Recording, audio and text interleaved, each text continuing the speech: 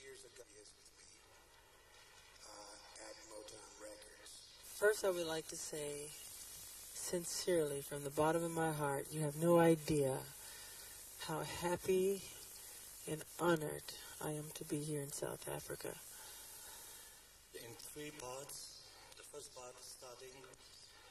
I would like to take this opportunity to thank President Nelson Mandela and the wonderful people of South Africa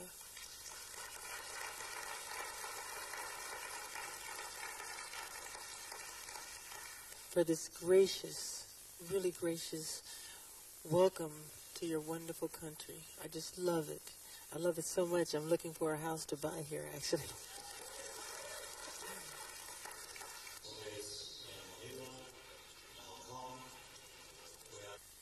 And I am sorry that I was not able to play South Africa dates previously because I was so much looking forward to coming here. But now I am really excited about bringing the history tour, a brand new show, the history tour, to South Africa.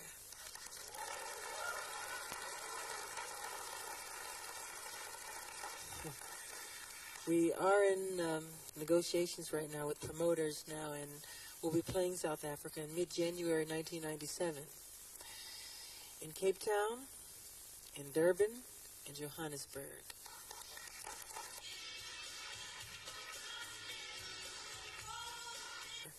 I love you from the bottom of my heart, and I thank you so much for this wonderful, wonderful opportunity. Thank you.